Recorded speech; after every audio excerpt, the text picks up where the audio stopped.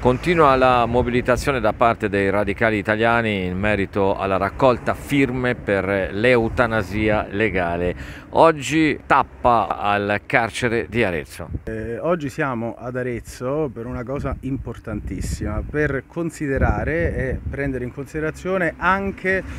le firme di persone eh, che sono considerate la popolazione di serie C. Eh, nessuno si occupa dei pochi, pochi, pochissime persone si occupano dei diritti dei carcerati e prendere le sottoscrizioni oggi per il referendum per eutanasia legale è un gesto importantissimo e fondamentale che eh, ci dovrebbe far capire quanto queste persone dovrebbero essere più considerate per le battaglie civili e sociali del nostro paese. Quindi oggi ad Arezzo entreremo io in qualità di referente per i radicali italiani, forse la gente è più abituata a vedermi sul palco che non nelle battaglie politiche, ma nelle battaglie sociali e civili io sono sempre disponibile e pronto. E poi ci sarà l'autenticatore ovviamente a, per la sottoscrizione delle firme e un altro volontario eh, che entrerà con noi all'interno del carcere di Arezzo. Dobbiamo sottolineare l'importanza del coinvolgimento di persone che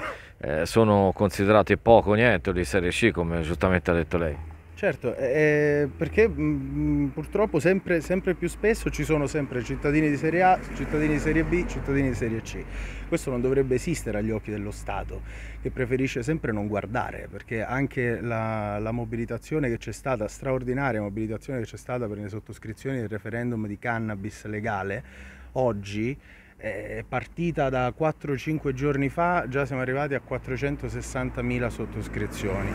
e sempre di più ci dimentichiamo invece delle persone che chiedono da sempre, la società civile è sempre più avanti rispetto ai partiti, alla politica, è sempre più avanti, eh, però non viene, non viene mai guardata, non viene mai dato un occhio di riguardo a quello che è il cittadino poi sostanzialmente.